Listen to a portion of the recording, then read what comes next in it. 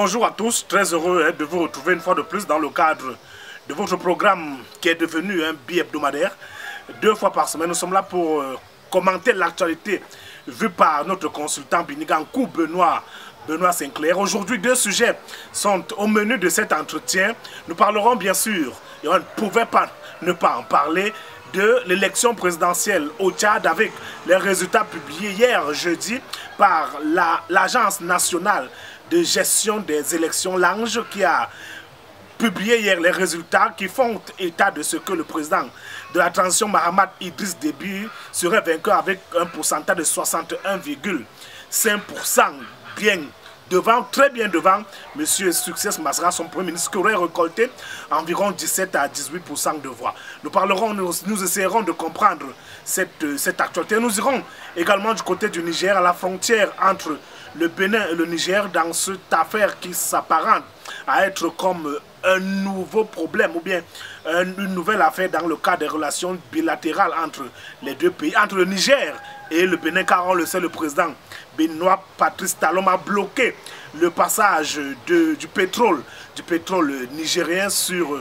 via le pipeline qui a été inauguré le 22 avril dernier et qui est présenté jusqu'ici comme le plus grand et le plus long pipeline au monde. Mesdames, Messieurs, voilà les deux sujets que nous allons évoquer avec notre consultant permanent qui est déjà sur place. On prend une courte respiration et on se retrouve juste derrière pour le développement de ces actualités. A tout de suite.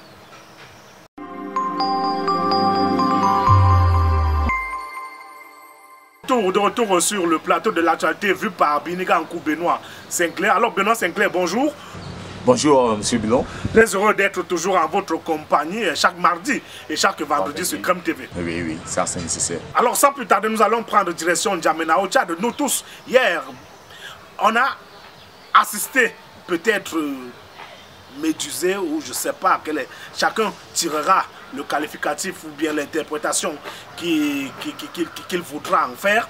Mais on a assisté hier à la publication des, des résultats de l'élection présidentielle du 6 mai euh, dernier. On en parlait encore mardi dernier. On essayait de peser un peu, d'évaluer les forces, les faiblesses de, des deux principaux candidats, à savoir Success Masra et le candidat, le président sortant de la transition, M. Mahamad Idriss Déby. Alors on a dit on attendait les résultats le 21 mai prochain comme le dit la, la, la, loi électorale de ce côté. Mais hier, on a été pris de court. On va le dire comme ça. Toute la communauté internationale, même les Tchadiens ont été pris de court trois jours seulement après les élections. L'ANGE, entendez par là, l'Agence nationale de gestion des élections, mise sur pied par le président Mahamad Idriss Déby lors de la transition, a publié les, les résultats qui font état de ce que le président sortant aurait remporté haut la main on va le dire, c'est le moins qu'on puisse dire, haut la main, cette élection dès le premier tour avec 61,5% des voix. Premier commentaire. Le commentaire qu'il faut faire en premier, c'est que à la vérité, on est tous surpris. On est tous surpris, on est tous surpris de ce que les choses se soient passées avec beaucoup de précipitation, les choses se passent avec euh, des, des, des, des, intonations euh, bizarres. C'est Masra qui tente de vouloir euh, réaffirmer son autorité populaire, sa légitimité, de ce qu'il a été en opposant et nous l'avons tous vu par le passé que les Tchadiens ont eu encensé tout de même. Donc ça fait que on, devait quand même s'attendre à ce jeu-là, à une précipitation euh, de, publication des résultats, parce qu'il fallait ici, euh, ne peut pas venir, euh, ne peut pas accepter perdre les élections. Vous savez, parce que comme on l'avait dit déjà dès le départ, l'appétit vient toujours en mangeant. L'appétit vient en mangeant, donc ça fait que du coup, on est vraiment stupéfait on est stupéfait, on se pose bien la question de savoir, et surtout, et surtout que lorsqu'on voit le gap, lorsqu'on voit 61%, 18%, mais quand même, lorsqu'on essaye même de vouloir faire la fraude, qu'on la fasse avec élégance tout de même.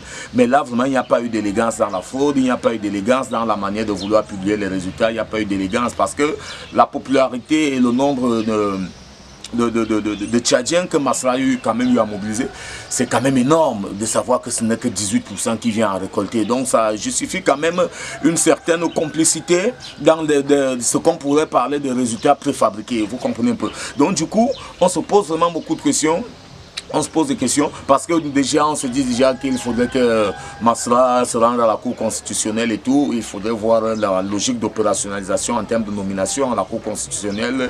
Est-ce que c'est on arrive là par vote Est-ce qu'on arrive par nomination Est-ce qu'on arrive par projet? Bref, il y a autant de questions qu'on peut se poser. Et quelle sera la crédibilité de la Cour constitutionnelle si la personne a été nommée aux yeux de son patron? Ça devient vraiment difficile parce que certaines langues demandent déjà ce que ça se rende à la Cour consulale, c'est qu'il faudrait tout simplement que les institutions soient fortes et qu'on puisse euh, valablement établir euh, les résultats et qu'on se dise voici les résultats que nous avons eus. Et ce d'autant plus qu'on fait comprendre l'État ce que l'ange a transmis euh, lorsqu'on transmet les résultats aux environs de 14 et 4, 17 heures. Donc la précipitation avec laquelle on a eu à traiter ces différents dossiers, on se retrouve vraiment dans une espèce de mascarade de traitement des dossiers concernant ces élections au Tchad. Alors, pour être, pour être beaucoup plus précis dans ces, dans ces résultats, Mahamad Idriss Déby, selon l'ANGE, l'Agence euh, nationale de gestion des élections, aura obtenu euh, 661,03%, soit 3 780 360 voix qu'il aurait obtenu contre bien sûr Succès Masra qui, qui a eu 18,53, soit 1 149 199 voix. Vous parliez du gap parce qu'il faut aussi souligner que selon les statistiques qui ont été euh, dévoilées hier, au moins trois quarts des électeurs sont allés aux urnes. On va dire, ça, ça, a couru, ça a fait courir. Alors, on vient à interpréter, vous le disiez tantôt peut-être, l'ANGE, l'Agence nationale, aurait peut-être pris Masra à contre-pied parce qu'on le sait, en journée, M. Masra a fait une publication, une sortie vidéo où il a dit, il, a, il s'est reconnu, il a reconnu qu'il s'est proclamé vainqueur. vainqueur. Il, s'est autoproclamé vainqueur en disant que ce vote était l'expression du, peuple tchadien. La, vérité, c'est qu'en fait, euh, Masra pensait lui aussi prendre de contre-pied le, pouvoir en place. C'est d'autant plus qu'en termes de démographie électorale, quand même, au niveau du Tchad, c'est près de 8 millions d'électeurs quand même.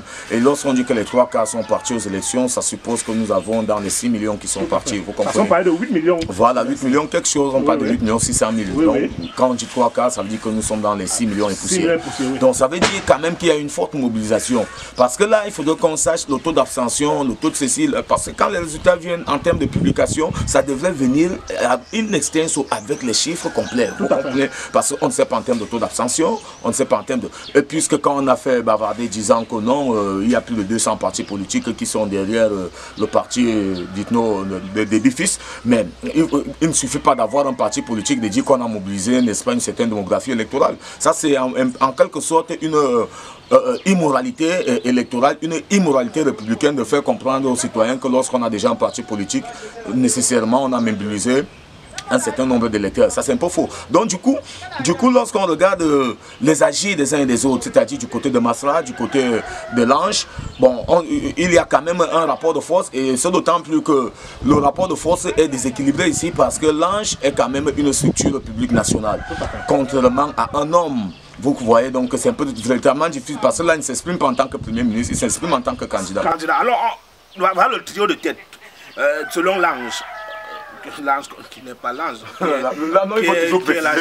qui est l'agence nationale de gestion des, des élections, 61,3% pour, succès, pour euh, Mahamad Idriss Déby, 18,53% pour Succès Mazra et 16,81% pour Pahimi Padake l'éternel opposant. En tout cas, on attend que les résultats soient validés par le Conseil constitutionnel. Oui, on attend certainement que les résultats soient validés. C'est pourquoi j'ai dit qu'il faut voir la logique opérationnelle en termes de nomination. Bref, en termes de responsabilités qui sont là. C'est un peu comme on peut voir au Cameroun. C'est le président qui nomme le président de l'ECAM, c'est le président qui nomme la Cour constitutionnelle. En fait, donc ça fait que du coup, on se pose la question de savoir est-ce que les institutions seront respectées Alors, alors, alors c'est clair, nous n'allons pas trop nous appesantir. Hein. On va, on va, c'est une actualité qu'on va suivre. Mais, on va la suivre. il, faut, il, faut, déjà quand même dire qu'il il y a quand même eu des prédispositions qui euh, préfiguraient Idno. Euh, du moins, je veux dire quoi Début fils comme vainqueur. Parce qu'il y a quand même une mobilisation de l'armée tout autour. Hein. Donc, vous comprenez peu Ça fait que si il ne gagne pas par la voie électorale. Ne gagne pas la loi des armes. Voilà. Mais alors, succès Masra a demandé à ses militants au Tchadiens de sortir pour une marche pacifique ce vendredi. À quoi est-ce qu'on peut s'attendre?